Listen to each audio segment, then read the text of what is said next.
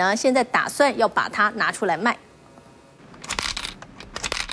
把钱投入小猪铺满，哎，可别小看它。透过手机扫描铺满上方 QR code，随时可知道里头有多少钱，一手掌握存钱进度。这是年轻股东今年最爱的股东赠品，也因为投资人索取太踊跃，赵贺还寄出必须持一千股以上才能领取。目前大概有六百八十块左右的行情，到八百块之间都有人想要。对。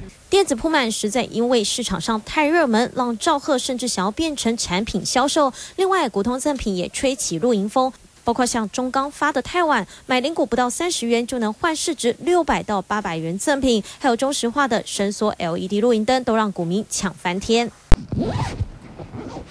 宏达电送的黑色后背包，时尚又实用，市场价格已经喊到七百到八百元。可能货一搬完就被人家抢，就被人家订购光了。大家知道我们这边有的话，很多人就跑来先给我们预定。从实用到有趣，股东赠品百百种，投资人赚取股利之余，不少人会将纪念品进行网拍转价差，也成了一项意外收入。三立新闻文昌、邱子林台报道。